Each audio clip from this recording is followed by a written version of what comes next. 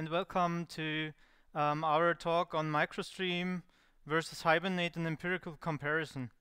Um, I learned yesterday or the days before, and we also talked to the uh, the people at MicroStream that they moved to the Eclipse Foundation, and now the title should be um, EclipseStore versus Hibernate and empirical comparison.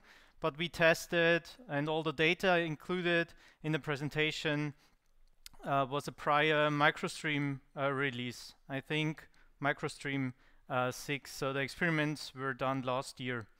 Um, my name is Johannes, and also my colleague Sebastian is here. Uh, if you have questions or want to have the presentation slides afterwards, um, contact us, talk to us. Um, the foundation of this talk is a scientific publications. We are from the University of Bamberg.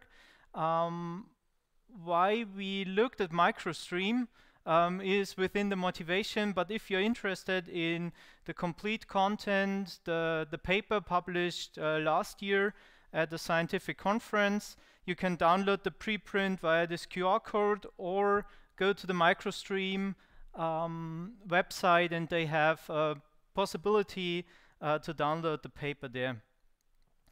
The code is um, at Benedict's uh, GitHub page, so if you're interested, um, have a look.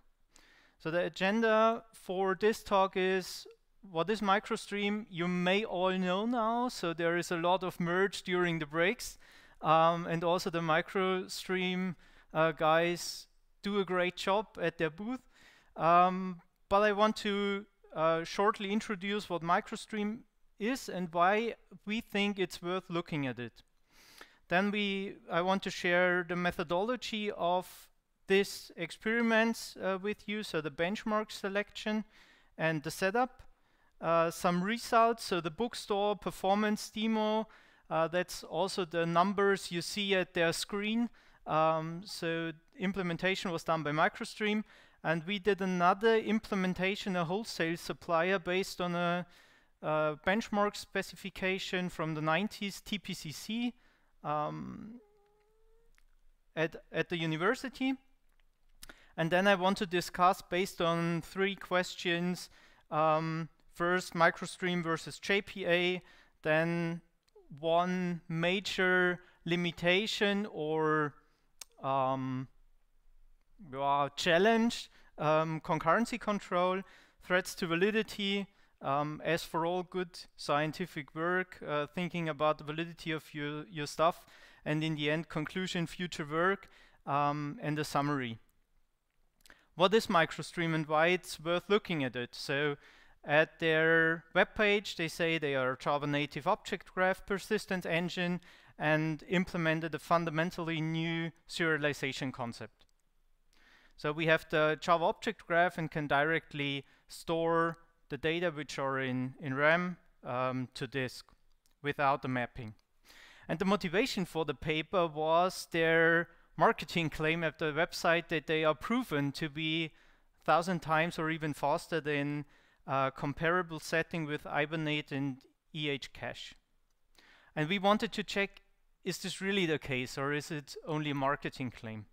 And under which circumstances does this claim hold? And also we looked at um, machine utilization and that was kind of interesting but more on this uh, during the results. The problem we saw, uh, and we still still see, um, a few, in, in some extents, literally no built-in concurrency mechanisms, but there are structured approaches to deal with this um, limitation or challenge. The tech stack. A typical JPA solution is you have your application, so that's a picture from the MicroStream web page. Then you have your heap, the Java um, objects. Do you see my mouse? Yeah. Um, then this object relational mapping framework, in our case Hibernate, um, and then the relational database typically. With MicroStream, you all may know this when attending uh, the talks. Uh, this object relational mapping layer, which is uh, time consuming. Uh, you have to think about how is my business model ideally represented in a relational model um, and have some limitations on the implementation side. Uh, this is all gone. You can directly store um, the object graph and do whatever you like in Java. Some examples which are hard to do um, right or good in, in JPA-based systems is, for example, inheritance, polymorphism. That, that are hard tasks. Um, that's all built in, so to say, in this new serialization concept. As I said, it's a scientific um, approach here. We had research questions, and Benedict especially had during his master uh, thesis. And the first one was, is MicroStream really a thousand times faster than comparable uh, technology stacked with JPA and Hibernate? The second one was, how can we achieve, when there are no built-in concurrency constructs, how can we achieve um, implementing a mutable data model with the microstream and memory data engine. That was kind of tricky and we needed three attempts to do it in a structured approach and do it right. And the last one was what are potential usage scenarios uh, where, uh, where we see microstream beneficial um, compared to uh, JPA-based persistence. Before talking a lot about the results, First of all, the methodology. Why another benchmark? I already said we implemented one um, at our uh, group. So the situation was um, there was an, applica an application, the bookstore performance demo from MicroStream, and we used to repeat this performance claim a thousand times faster um, they stated on the website. The use case of this bookstore performance uh, demo application is selling books. And the complete data model or the all the transaction uh, transactions are read-only transactions. So, and all the model classes are predominantly immutable. So there is no state change. And no state change and concurrency issues is a perfect fit. There are no concurrency issues in an immutable data model. The demo data for um, both um, experiments are created upfront, but in this bookstore performance case, there was no data added. It's an immutable model. Um, and we thought, yeah, MicroStream, they are quite nice. They responded to our emails when we uh, needed feedback or help uh, when started implementing our own application. But the bookstore performance demo application is vendor dependent. Yeah, they implemented them in their own um, labs, and they may have strengthened positive aspects uh, and high drawbacks of their solution. And this motivated us to implement our own benchmark application based on a specification TPCC from the 90s. And the idea back then was to benchmark relational databases. So uh, the domain model was focused on how relational tables have to be structured, what are the primary keys, compound foreign keys, etc. We adapted this specification to an object-oriented model, added one or two new transactions, and also uh, removed uh, some fields from the database layout.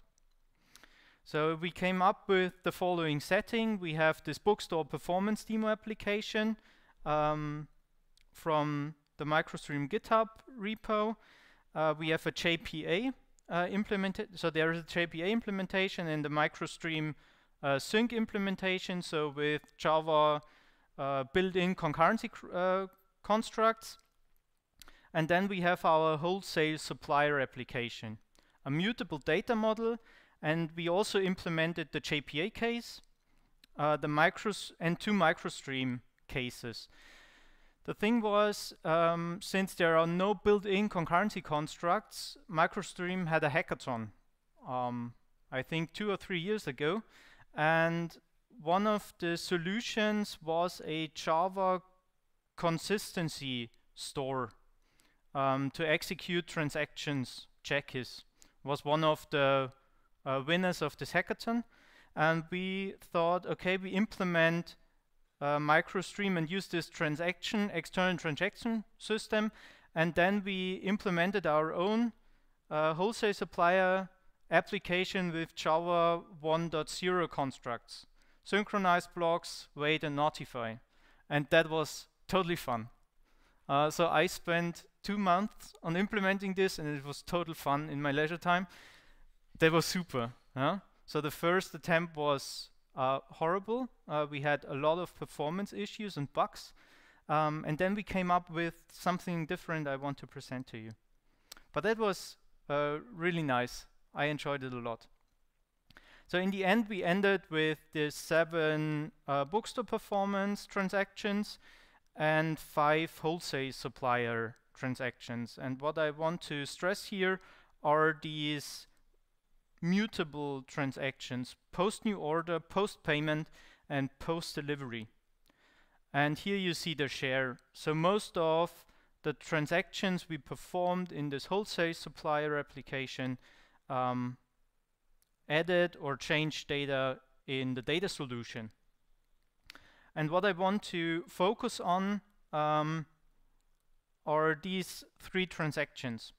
And we see in a minute why these uh, uh, three. Our experimental setup, um, and that's important for the conclusion. Uh, what, what is necessary to remember then is on H90, a typical um, desktop machine, four cores, i7, um, 32 gigabytes RAM, um, nothing special. We deployed the the application, so the bookstore performance application or the wholesale supplier application.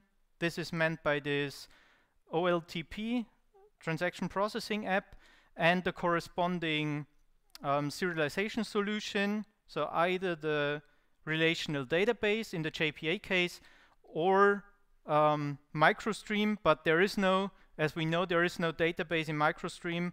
MicroStream is um, running within the JVM.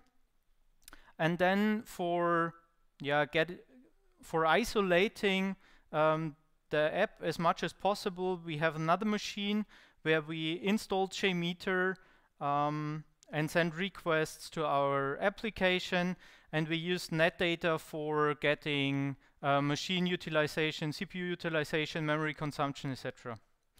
Um, I don't can recall all the numbers of CPU utilization and memory and th this stuff. Uh, read up the paper. Yeah, it's only 20 pages. Um, nice to read.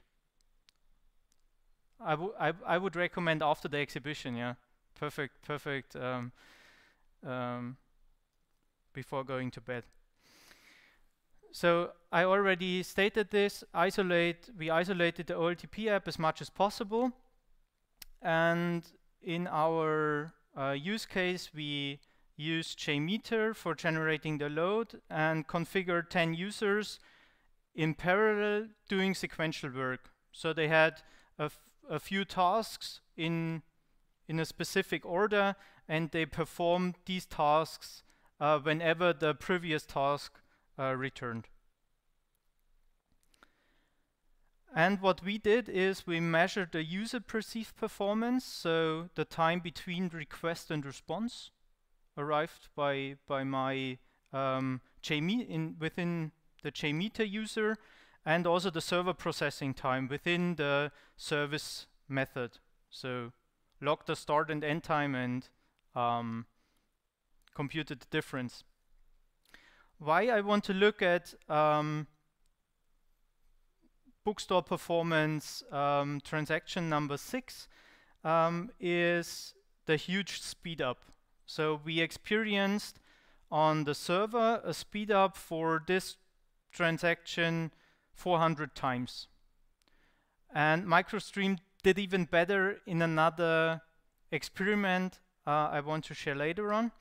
Um, for the others, MicroStream still um, is faster, a lot faster, uh, but not a few thousand times, um, tens, hundred times.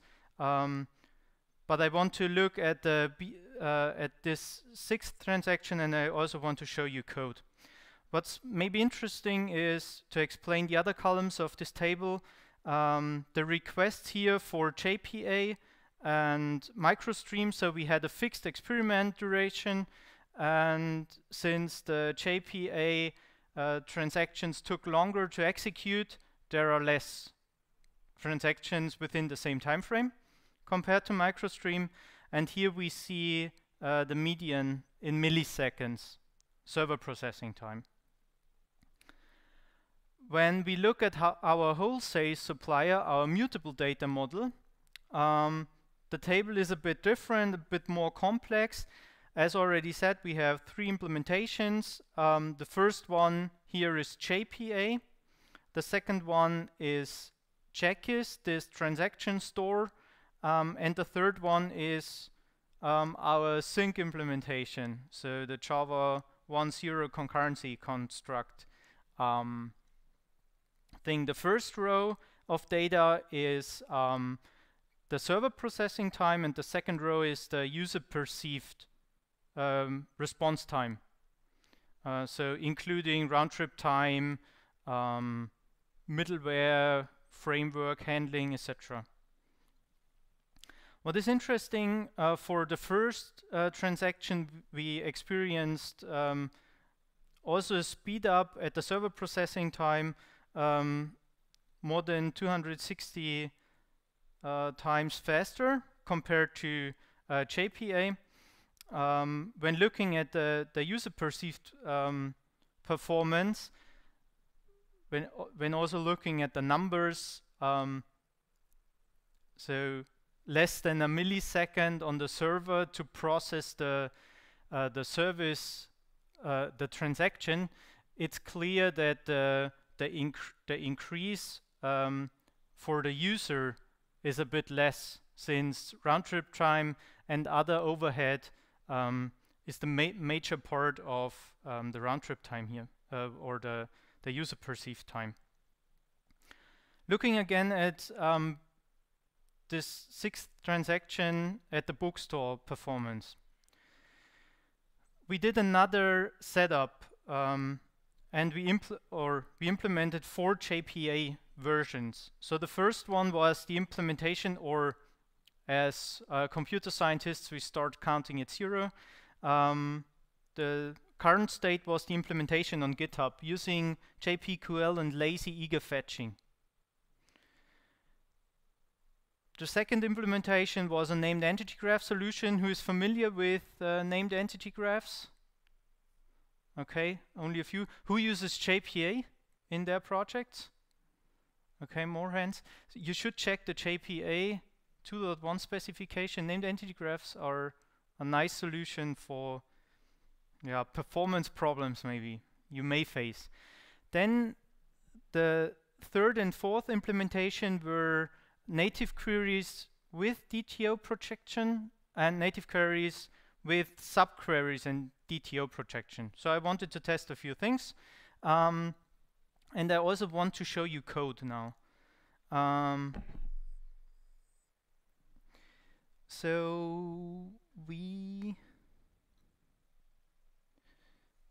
I have to yeah okay so I implement I imp so there are a few things um, that was um, can you all read it yeah um, so that was the solution zero a query JPQL when you refactor your app. Um, also, the, the IDE helps you. When you change the classes, add attributes, etc., um, the IDE helps you here. Um, the next uh, thing is the same, the same query, JPQL, but specifying an entity graph. What is an entity graph? Uh, you may know you can load your associated data lazily when you are within your database session.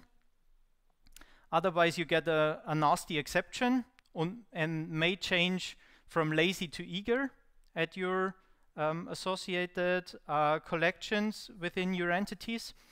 Um, then you face another issue I explain in a minute. when you specify an entity graph, you say to the database within your repository, when executing this method, you, you want to load the whole graph you specify here. This graph is called purchase entity items. When we look at our entity class, uh, class there is this named entity graph here. Due to the data model having two or three layers of uh, inheritance, you have quite a deep um, object model or structure hier hierarchy. And you have a lot of associated data. And what you have to do is, in the first uh, thing, so every uh, purchase entity has an employee, which is an object, obviously, a shop, items, and customer. And since you want to have additional data from these attributes, you have to specify the next level. So when you read data from the database, you don't, so you load these four attributes and the primitive values, but you also want to load maybe within the next level other associated data. So you specify your complete model um, again here as named entity graph. Why should I do this? Yeah, it looks horrible. It's 80, 80 lines of named entity graph and also IntelliJ doesn't like it. So they have currently a bug. They cannot um, load or support you to write proper subgraphs in this named entity graph uh, solution. Why, why should I care or why should I do this? Um, in this first implementation, which, which looks really simple, super simple. I write a JPQL statement and Hibernate does all the thing for me.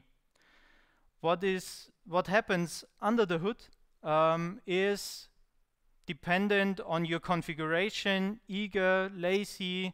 Um, Hibernate generates a lot of JDBC statements to load all the data. And what, what happened in one uh, of my runs is, and that's dependent on the data model, I executed over 900 JDBC statements. And you can imagine that's costly. That takes a lot of time and you have a lot of a lot pressure on the database. In the second case with this named entity graph, that's also the solution uh, the JPA spec um, is advising you to do. I have only two JDBC statements using JPQL and also have the possibility that I have uh, left outer joins. So I only load the data which I really need within two uh, statements. And the third and fourth implementation is, um, yeah, who likes to write such SQL statements? Ah, oh, come on, yeah, one, one or two. Um, yeah, it was fun. Yeah. Um, I had the impression that I used all the classes and possibilities within a single statement uh, from this domain model.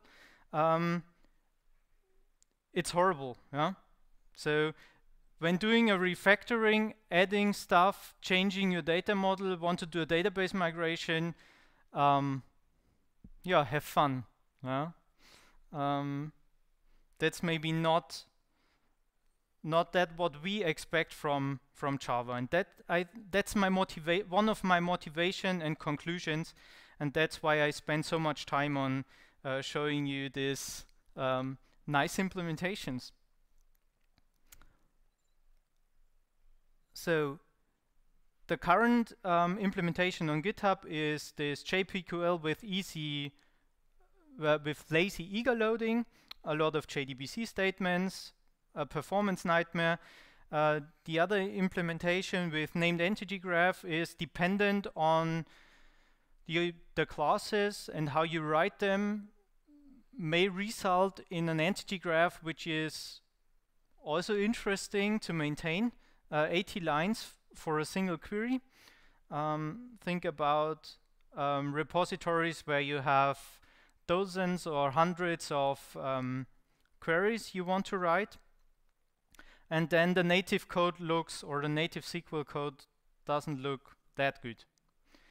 Um, what we experienced, so we uh, shrank down the experiment duration from 6 hours to 45 minutes and still had 8,000 requests. What we see in our in initial setup is for um, the, the JPA case, that's 0, 1, 2, 3, only JPA values, is that on average we need a second to execute it. Uh, we had around about 50% CPU utilization, so a lot of pressure uh, on the machine. Uh, with MicroStream it was under 10%.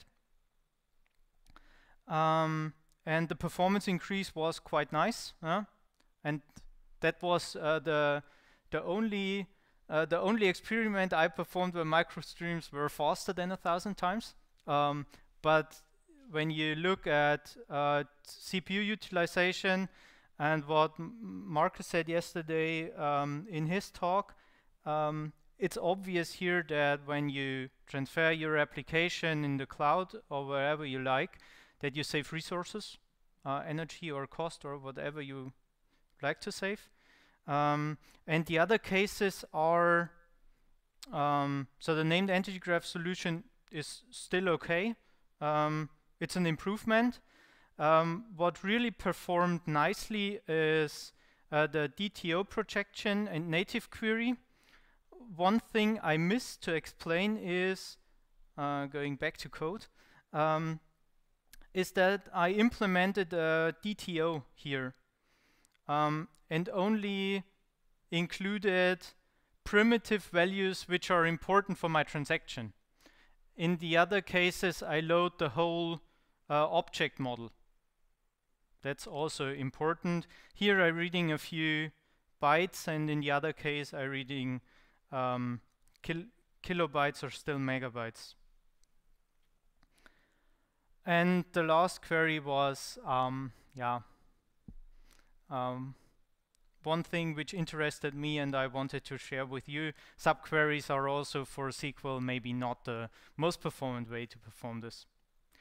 Uh, different visualization for um, for the same same data. Uh, so the native query with DTO projection is still fine, and MicroStream so we executed it. Yeah, believe me, uh, but you can't see uh, the box of the box plot. Wow. Um, thanks to the first implementation here.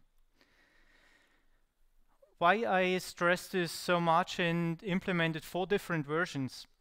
Um, I ask myself, I'm preparing for this talk, um, is it hard to get JPA right? And I talked to a colleague, I in in my free time, I work for a, for a software consultancy, and a colleague of mine explained uh, or explained me a situation and said we get a lazy init exception in production. And the only thing to fix it was going from lazy to eager. Um, and then we had the problem that the CPU utilization and the response times increased. So solving one JPA problem um, may result in another when not being aware that things like named entity graph, uh, DTO projection, etc. Um, are nice to reduce the pressure on the database. So what are hurdles in JPA? Lazy versus eager loading.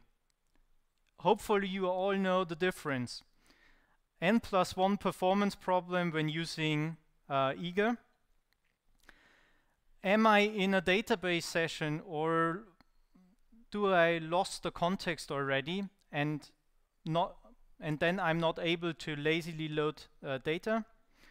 I mean, do a, do uh, so is there a transaction context currently? Open session in view for all of you who use Spring Boot, that's enabled by default. Um, also quite nice, there is um, a discussion if this is a pattern or anti-pattern. Um, and the most important problem is uh, fixing performance issues in production is quite challenging since some of these aspects influence each other. And you have sometimes interference of problems running out of um, database connections in, in this JPA case. So hard to get JPA right is maybe a common problem. But I wrap this up in the end. Um, another thing is I want to discuss one of the uh, wholesale supplier transaction stock level. The MicroStream case is um, quite fast. I use the Streams API uh, and filter, um, search for my uh, my my stock entity and check the amount. In the JACIS case, I have a huge hash map, um, a defragmented data model. Uh, please read the details in the paper. Um, I want to skip this since I think JACIS is not, not an option. Um, and the last uh, thing is here in JPA, due to the data model, I had to perform joins, and joins are costly. So that are the three uh, things here I want to stress. So in this case, also filtering uh, is quite uh, quite fast. To answer my three questions, um, I'm running a bit out of time, but I think I can uh, manage it. MicroStream versus JPA. Is it really proven to be a thousand times faster than Hibernate? We experienced um, significant speedups, but it's highly dependent on the nature of the query. Um, since in this transaction we had a lot of complex joins, you saw the native SQL statement. Um, and in the uh, uh, in the MicroStream case, I can use uh, the Java Streams API.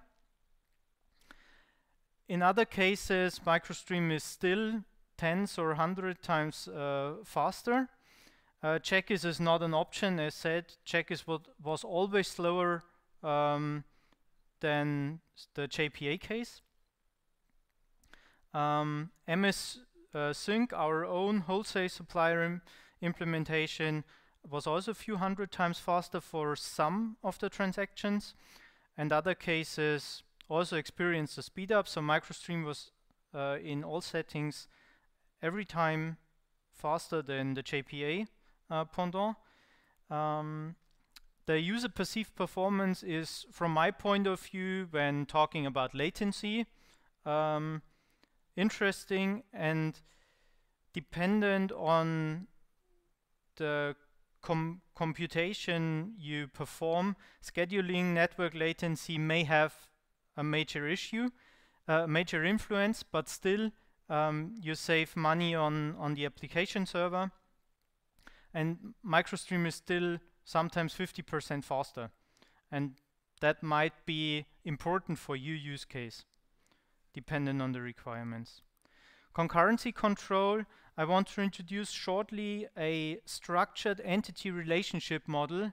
Um, one of our professors in, in Bamberg did this uh, during his PhD, and the idea is to have uh, independent objects on the one side and then having dependent objects um, from left to right why should I care about this? So SAP uh, use, uses this for uh, modeling their data model. Um, and what we did, we uh, used this for nesting locks um, to avoid deadlocks running in concurrency issues. Um, how does this look like? So we have several, or we had several synchronized blocks um, nested and going as um, introduced by the domain model from left to right when uh, different uh, data is needed. Um, what is interesting, there was also a question yesterday, um, when you want to uh, store your data model. Um, at the beginning, we thought, yeah, we can store from ever uh, from every thread uh, concurrently the data model, but you have to uh, to lock this. I think also in the latest version um, to store it. So a single thread can um, can write changes uh, to disk. And the usage uh, scenarios where we see uh, MicroStream especially suited um, is for um, mostly immutable data models. That's a no-brainer. Having concurrent uh, data access and immutable data is not a big issue. For Java and cloud native microservices, where you have a uh, single service and every service has its own data solution. That's also a perfect fit. You do not have to replicate your data. Um, and where we see MicroStream a perfect fit is for Java developers. There is um, there is no no risk of introducing side effects by another framework technology like JPA and relational databases. Where we see the most room for improvement is concurrency control. Markus said yesterday, and I wrote this on the slide to not forget it, you have to care for concurrency. Um, and I think that's uh, one of the, the major um, things I, I want to share uh, today. Um, so low-level synchronization, I'm not sure if some somebody does this in production. Low-level synchronization, wait, notify, and synchronized. Um, I think it's fun, but I'm I'm not sure if I want to do this in production. Um, and what I I'm looking forward, and I talked to to Florian, is optimistic locking approaches, and I think they are currently in production, and testing concurrent code is challenging. So we lecture a bachelor course, um, and the only thing we came up with testing is using jcstress, an OpenJDK tool, where you can brute force with different JVM settings your code. Um, and then you get a nice dashboard. Currently, I think they have 32 JVM configurations and several optimization parameters. And then you um, execute your function mil millions um, of times. And when everything is green, you have no guarantee that your code is fine, but you might be a bit more confident. Uh, that's quite interesting, so I can highly recommend jcstress um, giving a try and having a look. What I th think is beneficial for future work on comparing MicroStream to other um, solution um, is to build a pipeline and test new releases against other persistent solutions. That might be might be quite interesting. And what I I'm looking forward is to have the time to test the cluster feature uh, they implemented. Threats to validity. What we missed so far is uh, no lazy references. Uh, but personally, when comparing this with JPA, I really like the design decision that you have to be explicit, um, writing lazy or or using lazy, and then this uh, generic uh, syntax um, being explicit, precise, and then you are not running in the same issues as in JPA cases where you change one attribute of uh, annotation and run into performance issues, like when changing lazy to eager. We had no scaling of instances. There is currently a cluster mode since, I think, MicroStream 7. And the same holds true for our wholesale supplier application that's not 100% objective. We implemented it within our research group, um, but there might be also bugs in our implementation. And the used experimental setup um, might be interesting to, to run it in the cloud, run it on Raspberries um, uh, to, to see how MicroStream performs against JPA. to sum up, general statement. Um, after working a few months on, on different implementations, I think, and um, we use it currently in research prototypes, MicroStream is an, obviously an alternative to Hibernate and can boost performance. But as always, it depends on the use case. So I think there are um, use cases which are easily doable without additional effort with MicroStream, and there are other use cases where you have to spend um, intellectual capacity, time, and uh, joy uh, in implementing a, a, proper solution. The major benefit um, is staying in the Java universe without having an impedance mismatch with other technologies and in particular with different database solutions and their optimizations. So I lecture several master courses at the university and the biggest problem is for most of my students to implement proper uh, JPA inheritance, implement uh, proper queries, and getting the concept of lazy and eager loading right. Um, and the major drawback or challenge, yeah, phrase it as you like, is the concurrency control capabilities currently. Um, so it's hard uh, to, to, to write synchronized code, um, but it makes super fun. Yeah? So I don't see it as a drawback. Um, what we did in our implementation, why we failed the first time, is we spread our synchronized logic across cl classes. And in the, in the second run, we centralized all the concurrent um, code within a single class.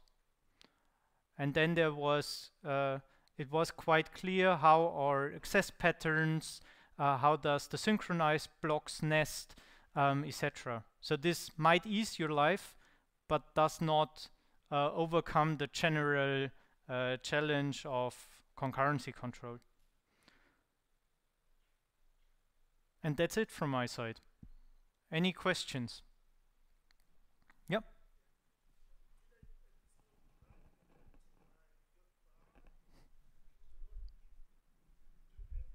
Uh, yep.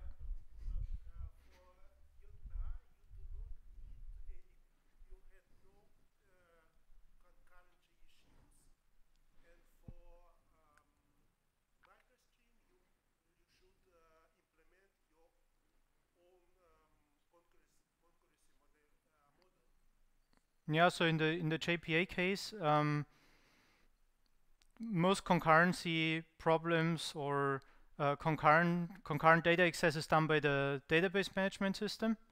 Um, in the MicroStream case, you have to care um, to when you store or retrieve data, you have to care for or thinking about um, how are the access paths, and you have to synchronize then writes, for example.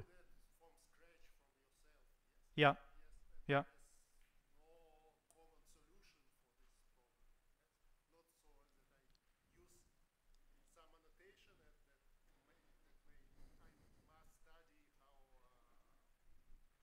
So, so the question was concurrency control.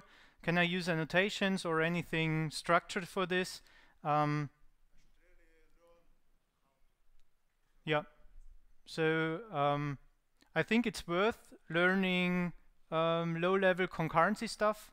Um, it's not only MicroStream, it's also Spring Boot who hides um, concurrency, concurrent data access, whatever, within the, the middleware implementation. And I think it's it's good for a Java developer to have a yeah, quite some knowledge on, on concurrency problems and how to solve it, how to implement thread safe code.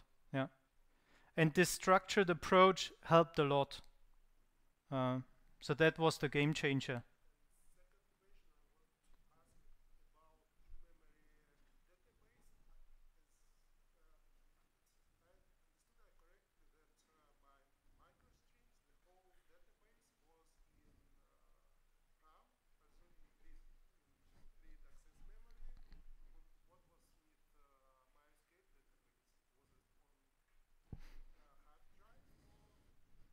Uh, so the question was where, where, where was the data in the JPA case and in the microstream case? So we had the whole microstream data in RAM. Um, we had no lazy references. We, I think we had a few million objects and I think it was five to eight gigabytes, um, five million objects roundabout. And in the uh, JPA case, I we had a Postgres running in a container and a cache between. And the cache was hot. Yeah. So we read data from from this EH cache um, and don't had to load data from hard disk, I would assume. Yeah. Yeah. But but a different as net naturally uh, another another component, yeah, to access.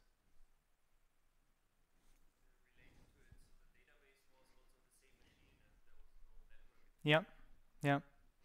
Um, and that's also one thing. So um, remark was database uh, was on the same machine as said.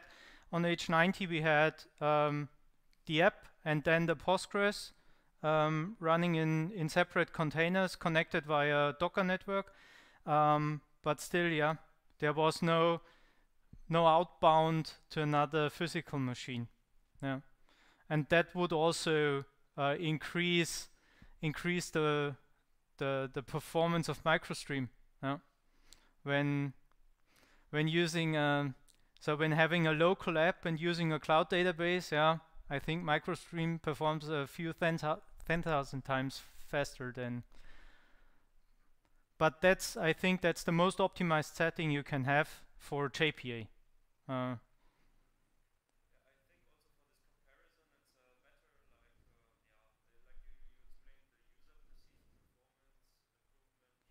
yeah.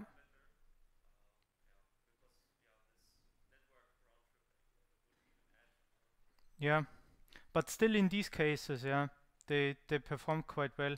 So a friend of mine uh, told me, and then I believe we are maybe not all engineers.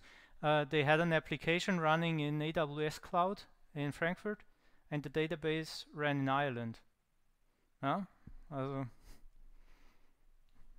and he he complained why the app is so slow. Uh, wow. Yeah.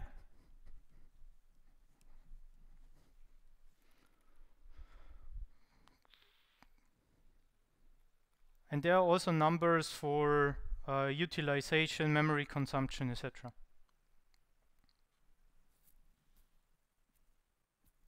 But I wanted to pick one one transaction and going deep and not having a, a broad set without um, conclusions. Any other questions? If not, you can also ask me or if you have general questions to the to the microstream guys go to the microstream guys.